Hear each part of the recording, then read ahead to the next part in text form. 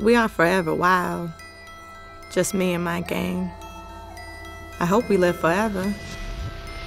They will remember us.